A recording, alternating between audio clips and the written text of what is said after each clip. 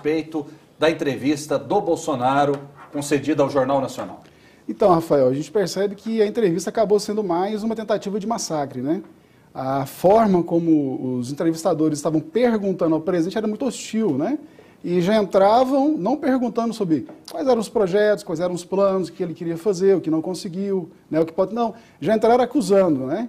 E batendo forte no presidente. E assim, o que foi muito interessante foi o equilíbrio emocional do presidente Bolsonaro. Ele, é, felizmente, se manteve, se conteve ali e teve muita habilidade. Né? Aliás, ele, que tradicionalmente sempre tem muita facilidade de lidar com a bancada do Jornal Nacional e sabe como é que, mais ou menos, ali a questão emocional do, do, dos, dos, apresentadores. Apesar de ser provocado, apesar de ser, ali, às vezes, fustigado, ele se conteve e, na minha opinião, ele está muito bem. Né? A própria estatística que você citou agora é clara aí com relação a como que quase que não foi é, é, uma entrevista, né? Foi quase que um, vamos dizer assim, quase que uma inquirição.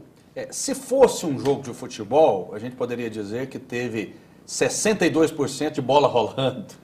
É mais ou menos isso, seria mais ou menos isso. É pouco ou muito, na sua opinião. Conosco, o professor de Direito Alexandre Aguiar, que é declaradamente comunista, é isso? Prazer tê-lo mais uma vez aqui na bancada, o senhor que estava em Santa Catarina. Boa tarde. Boa tarde, Rafael. Boa tarde, Débora Moraes. Boa tarde, Danúbio. Boa tarde, Marajó, é isso? Marajá. Marajá. Marajá Filho. Marajá Filho. Boa tarde, Marajá Filho. Boa tarde, equipe técnica. É, sim, retornando agora de Santa Catarina, de uma licença capacitação e à disposição né, para a gente fazer esse debate. Muito bem, professor, 30 segundos iniciais para o senhor falar a respeito dessa entrevista de Bolsonaro ao jornal nacional, na sua opinião, se saiu bem, se saiu mal? Qual a sua avaliação, professor? Na minha opinião, né, os entrevistadores foram extremamente leves com o presidente. É, ele se saiu bem, não tenha dúvida disso, já que as perguntas foram né, bem suaves, a forma como a entrevista foi tratada. O presidente, evidentemente, demonstrou um certo nervosismo, tem essa questão do tempo ocupado, etc. Mas, é, dada a audiência né, do dia, sem dúvida nenhuma, é um ponto positivo para Bolsonaro. O que você perguntaria a Jair Bolsonaro, professor? Eu perguntaria para Jair Bolsonaro sobre a política de distribuição de armas, sobre as rachadinhas, sobre a corrupção no seu governo. Muito bem. Marajá, qual pergunta o senhor faria a Jair Bolsonaro? Eu gostaria de perguntar ao presidente Bolsonaro quais foram as metas que foram frustradas por causa da pandemia e as propostas agora, né, já pós-pandemia, como é que ele conseguiria atingir né, essas metas aí. E também perguntaria para ele quais são as previsões para o crescimento da economia, para o emprego né, e também para os investimentos em saúde, educação e tecnologia. Foi uma entrevista leve na sua visão ou não? Eu acredito que foi extremamente pesada, né? Assim, a forma como o entrevistador abordaram o presidente foi muito hostil. Eu até pergunto assim, sabe, o, o Rafael, será que os demais entrevistados terão o mesmo tratamento? Porque vai ficar estranho para a Rede Globo se ela não aplicar o mesmo tratamento. Então, eu acredito que para quem vem agora, das duas, uma, já está ali preocupado, porque vai, vai, vai, perceber que tem uma bancada que vai pegar firme, né? E, claro, faz parte da democracia, mas claro que o tratamento seja o mesmo. Né? Agora, se o pessoal adoçar ali na pergunta, né, fizer aquela perguntinha, aquela levantadinha de bola para mandar para o gol, o eleitor está atento, ele vai estar tá percebendo qual que é, então, a intenção da emissora. Né? Eu penso que dentro do Estado Democrático de Direito né, e do princípio da, da, da, igualdade de armas, aí, eu creio que eles vão ter que repetir a dose, ou seja, da mesma forma, na mesma intensidade que fizeram com o presidente, que faça também com os demais é, candidatos. Tradicionalmente, a gente tem que ser justo aqui com o Jornal Nacional, entrevistas ali são pauleira, né? É, eles não passam pano para ninguém ali. Certo ou errado, foi assim quando entrevistaram Haddad, a Dilma, o próprio Lula, e todos os presidenciáveis. Então, eu acredito que vai ser uma entrevista também muito dura, com Lula, por exemplo, lembrando da corrupção do PT, lembrando do mensalão, lembrando do petrolão e tantas outras coisas. Tomara que eles abordem também a questão da regulamentação da mídia, que preocupa todos nós que somos comunicadores, né? Já que o primeiro questionamento do William Bonner foi no que diz respeito às urnas eletrônicas e o risco de ruptura à democracia. Será que o risco está apenas de um lado? E sobre isso, professor Marajá, eh, Jair Bolsonaro disse que eh, vai aceitar o resultado das urnas. Não foi isso? É verdade. Como bom democrata, não há o que se questionar. O resultado das urnas é soberano e ele, inclusive, destaca, né? Se as eleições forem limpas, não há por que é, questionar qualquer resultado. Né? Seja ele é, o vencedor ou outro, né? é a democracia. Que seja feita a transição ou a, a renovação né, do mandato, aquele que se destacar e tiver o maior número de votos, né, que a gente celebra essa festa aí em breve. É, professor Alexandre, essa declaração tranquiliza o establishment, tra tranquiliza o STF, tranquiliza o, o, o, TSE na sua visão, professor? Na minha visão, é, o posicionamento do, do presidente ele é ambíguo com relação às eleições e ele permanece dessa maneira. Né? Se por um lado ele né, diz explicitamente que vai reconhecer os resultados dessas eleições. Né? Essas eleições já estão definidos os seus parâmetros, então não há que se falar se forem limpas, elas serão limpas. Agora, do outro lado, ele insufla sua base né, para exatamente questionar o TSE, questionar as urnas eletrônicas no processo eleitoral em andamento.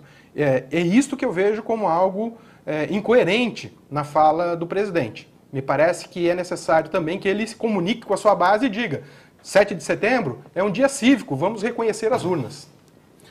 Muito bem, doutor Danúbio, que é da área eleitoral, essa declaração dá tranquilidade ao país? Tranquilidade não, mas uma, um, um estado momentâneo de calmaria sim, mesmo porque ele coloca um si, né? Quando ele coloca essa Perfeito. preposição, esse fato esse condicionante, porque também ele leva para o lado que as eleições no Brasil não, é, não são limpas e que é, é, é, podendo movimentar massa. Agora, a grande preocupação que a gente tem em relação a, a, ao que é falado pelo Bolsonaro, e aqui já discordando uh, do, do, professor Alexandre, é, é fala que perguntaria para o Bolsonaro, acho que quase tudo foi perguntado para o Bolsonaro, sobre corrupção, por exemplo. E ele que perguntou para o Bonner, não, não vamos falar disso, vamos falar de corrupção, que no meu governo não tem. Eu achei interessante a preparação dele em relação a isso, porque não foi perguntado de corrupção. Houve, e não houve ele se propôs, ali, ele se propôs a falar uhum. sobre corrupção. Agora, grande ponto falho, eu falei do ponto positivo do debate, agora o ponto falho debate, né? Era uma sabatina. Agora o ponto... Acabou sendo um debate, né? Um duelo sendo, entre Bolsonaro acabou sendo contra, um duelo. Contra, Agora, contra o Bonner e a Renata Vasconcelos. O que não explica é o seguinte, demonstra um, presidente assim, que, por mais bem intencionado que há, não segue protocolos, não segue, não segue manual da redação, é, fala as coisas às vezes sem ter conhecimento, pessoa muito espontânea, isso não é um papel de presidente. Essa é a grande falha. E foi demonstrado ali. Primeiro ele falou que nunca entraria para o Centrão, depois ele falou que não existia Centrão, agora ele fala, eu sou do Centrão. É alguns pontos que ele vai mudando de opinião, que como mudou em relação à vacina, mudou em relação relação ao posicionamento político e muda em relação aos outros pontos também. Então eu vejo que isso é o ponto falho que eu vejo do Bolsonaro, que se ele continuasse trabalhando e falasse menos no sentido de é, é, não apresentar situações que ele depois não comprove e não siga, como foi, por exemplo, essa movimentação da massa contra a justiça, contra os poderes, que agora ele mesmo falou assim: olha, estamos pacificados. Então, peraí, primeiro ataca, depois pacifica. Aí vira como se, como você bem falou, o establishment dele, assim, a equipe dele fosse instrumento de manobra, os seguidores dele se tornassem instrumentos de manobra do momento político que ele vive. Se ele está bem com as instituições, nós vamos pacificar. Se nós não estamos bem, nós vamos partir para cima. Então, esse ponto de equilíbrio aí que não foi demonstrado. Muito bem. Na opinião de vocês, professor Alexandre Aguiar, e depois eu vou acionar os outros integrantes da mesa. Bolsonaro vai crescer nas pesquisas por conta dessa entrevista? E um fato interessante aqui, e que na minha visão é impressionante. Eu estou vendo alguns cortes aqui no próprio perfil do presidente da República, Jair Bolsonaro. É, a última postagem aqui tem mais de 1 milhão e 900 mil curtidas. É uma loucura, né? Isso pode fazer a diferença? As redes sociais podem fazer a diferença? Me parece que está muito à frente de todos os outros candidatos, professor. Então, Rafael, acho que aqui tem alguns elementos que é importante a gente refletir. É, inicialmente, é, a audiência prevista para o debate, para a sabatina de ontem, está na casa dos 70 milhões de pessoas. Uma né? loucura, né? Então é algo muito expressivo. Dizer que isso não terá um impacto nas pesquisas, eu acho que é, é mais do que prematuro, se não equivocado. Né? Eu creio que sim, terá impacto nas pesquisas. É importante nós. Negativo ou positivo? Sem dúvida nenhuma, o impacto é positivo. Né? A próxima sabatina é que talvez tenha uma reversão. Na minha avaliação, a gente tem essa possibilidade. Hoje é com Ciro Gomes. Hoje é com Ciro Hoje é com Gomes. Ciro Gomes. Hoje é com Ciro Gomes. Talvez o Ciro, que teve Lula um é declínio. Eu penso que o Lula é na quinta-feira. Quinta. Penso, não tenho certeza, tem que con- con- confirmar. Mas veja bem, é, nós temos um dado importante aqui. O Lula tem uma estabilidade nas pesquisas, ali em torno de 45%, 47%, e o Bolsonaro tem tido uma recuperação. Ciro Gomes tem tido uma redução. Isso pode indicar, inclusive, que alguns votos do Ciro Gomes não estão indo para o Lula e estão indo para Bolsonaro. Isso é um dado que é importante nós avaliarmos das pesquisas. Mas esse é, crescimento de Bolsonaro é um crescimento lento. É um crescimento efetivo, mas é um crescimento lento. É suficiente para virar a chave? Vejam, ele é presidente. É a primeira vez que um presidente concorre à eleição no Brasil, e as eleições de segundo turno são coisa recente, em que o presidente que está no cargo está em segundo lugar e não em primeiro lugar. Todos os demais candidatos à segunda eleição tiveram sempre em primeiro lugar. É uma corrida contra o tempo. E eu digo o seguinte, eu não sei se o Dr. Danube, que é especialista da área, concorda também. Hoje, é, eu coloco três detalhes aí que decidem uma eleição, na minha visão. Pesquisa eleitoral, sim, né? É, presença na internet, o que decidiu na eleição passada, e presença nas ruas. Eu acho que são esses três elementos que devem ser observados. O senhor concorda, doutor Danube? São três elementos importantes, mas não só. Eu vejo o comportamento dos candidatos. O Bolsonaro, por exemplo, teve um comportamento durante três anos, três anos e meio, chega na frente da Rede Globo de 40 minutos, apresenta outro comportamento, totalmente paz e amor. Assim também como o presidente Lula, né? Teve um comportamento aí de ex-presidiário, essa situação, vai chegar agora a apresentar uma outra forma. Mas alguns E momentos esse ele foi ponto, confronto também esse ponto, é, esse ponto de equilíbrio aí que vai poder demonstrar isso. E aí, tem outros fatores também. Fala que fator sorte não, não, não conta, mas talvez o Bolsonaro ter sido o primeiro a ser sabatinado, é, ele pode ter contado, porque é, é sorteado, né? Você tem que estar ali todos É melhor eles. ser o primeiro ou o último? Ele foi o primeiro. Hã? É melhor ser o primeiro ou o último? Tem que ver com os marqueteiros. Eu acho assim, depende, Depende, do depende. resultado de- do desenvolvimento do candidato durante a sabatina.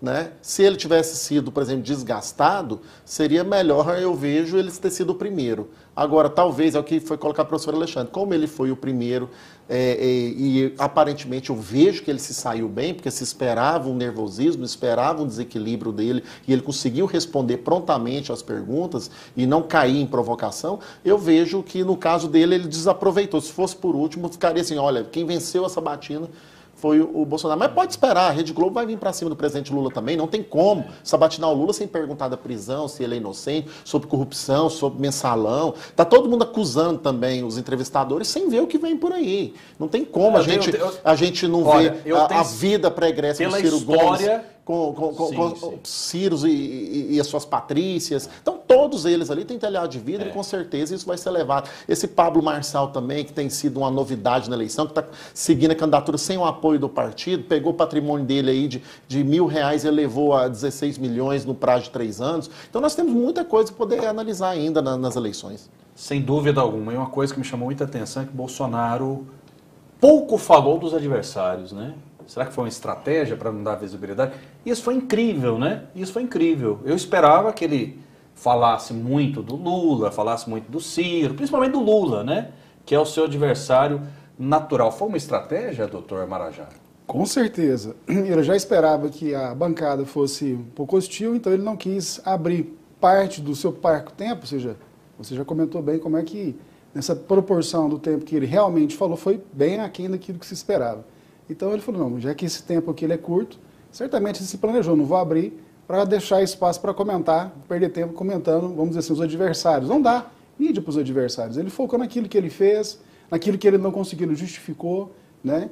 E assim, é, como o, o, o doutor colocou, extremamente equilibrado, né? extremamente sensato, assim, um equilíbrio emocional muito bom. Acredito que Bolsonaro ele fez talvez uma das melhores entrevistas e os resultados você colocou, né, Rafael? Como que as redes sociais têm reverberado isso aí e as ruas também, porque assim que ele saiu lá da Globo, a, a, a sede da Globo estava tomada né, de simpatizantes, de apoiadores do presidente, então isso é admirável, né? Num, num cenário pós-pandemia, no cenário de uma guerra na Ucrânia, num cenário todo conturbado, onde boa parte dos países do mundo estão aí passando por grandes dificuldades econômicas e financeiras, onde boa parte das situações políticas, até de países vizinhos nossos aqui, estão extremamente delicadas para os seus governantes, nós temos aqui no país um presidente que, a, a despeito da, da, da, das críticas, né, da, da, contundência que a boa parte desse consórcio da grande mídia e também dos adversários tem feito, ele tem se demonstrado assim, extremamente popular